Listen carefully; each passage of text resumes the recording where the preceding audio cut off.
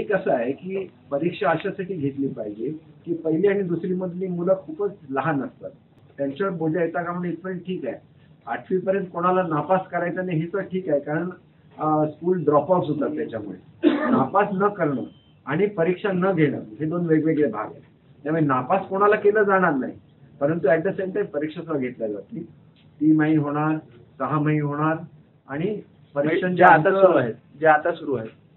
ह्या दुसरं कसं आहे की आम्ही आता सिलेबसचा तीन भागामध्ये वाटतोय. म्हणजे मुलं आता संपूर्ण वर्षाची पुस्तकं वर्षाच्या वह्या एकत्र घेऊन जातात. तसं करायला लागणार नाही.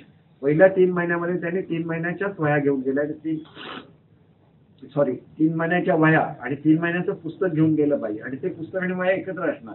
त्यामुळे त्यांना काय लिहायला नको? त्यांना अभ्यासाचे इतर वह्या आहेत. ते घरी ते याच्यावर ते लिहू शकतात सराव करू शकतात.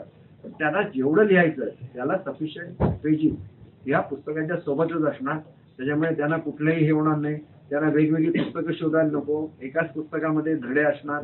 असं हे एक वेगळं की ज्याच्यामधून क्रांती घडेल मुलांच्या जीवनामध्ये. शिक्षण आणि ह्याचा प्रयोगाचं आम्ही काय केलं की हे केल्यानंतर साईटवर टाकलं. आणि साईटवर टाकल्यानंतर साधारण पंच्याऐंशी ते शहाऐंशी टक्के लोक एकाहत्तर टक्क्याने तर त्याला उत्कृष्टच म्हटलं. परंतु एकंदर सहा टक्के फक्त लोकांचं मत असं होतं की ह्याचा उपयोग होणार नाही.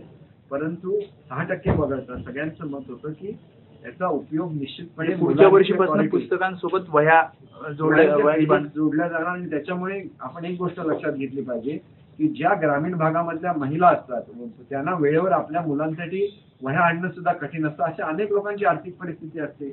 या मुलांनी ते वाट बघत बसतात की एखाद्या कोणाचा तरी मोठ्या लिडरचा कार्यक्रम होणार आणि वह्या वाटपाचा कार्यक्रम होणार आमच्या मुलांची काळजी घ्यायला सरकार सक्षम आहे.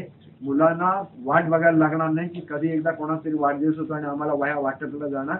सरकार त्यांना त्यांच्या हक्काची जशी पुस्तकं देतं तशा वह्या सुद्धा त्यांना हक्काच्या मिळतील. नव्या शैक्षणिक धोरणाची अंमलबजावणी कधी होणार आहे महाराष्ट्रामध्ये? नव्या शैक्षणिक धोरणाची अंमलबजावणी सुरू झालेली आहे. आपण एक गोष्ट लक्षात घेतली पाहिजे की नवं शैक्षणिक धोरण हे मोदी साहेबांचं स्वप्न आहे. आणि त्याच्यामुळे नवीन शैक्षणिक धोरणामध्ये काय आहे?